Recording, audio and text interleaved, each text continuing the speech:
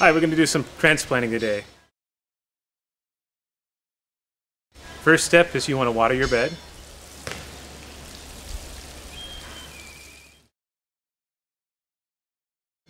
Next step is you very carefully want to take your seedling outside of the container or whatever growing medium it's in. When you're planting, you want to dig it, dig the hole just a little deep, enough to cover the entire root bed. And for solanaceous plants like tomatoes, eggplants, bell peppers, things like that, you want to plant it to the first baby leaves.